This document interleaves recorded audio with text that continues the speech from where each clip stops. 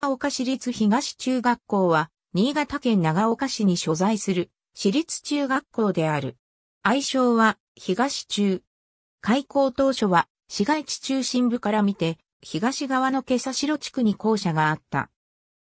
1956年に制定された校歌の一節には、川辺の桜火に生えてとあるが、この川とは、信濃川ではなく旧所在地付近を流れる福島港のことを指す。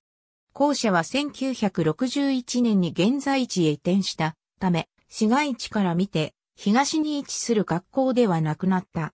本校は中越地区で唯一、教科教室型の方式を採用している。例えば国語の授業では国語教室を使用する。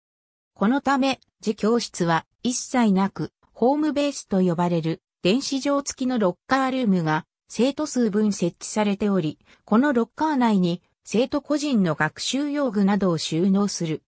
本校は中越大震災の発生後に建て替え工事を実施しているが、建て替えにあたっては先日した大地震の教訓を活かし、大規模な災害発生及び長期間の避難所設置を想定した多くの内容をコンセプトに取り入れている。建物データ外部リンクを参照。ありがとうございます。